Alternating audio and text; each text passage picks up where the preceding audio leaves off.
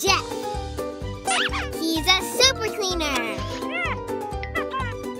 He's even got a secret cleaning cupboard.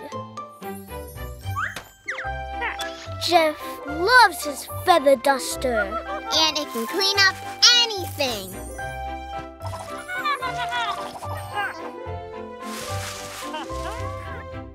His most favorite thing to do is read.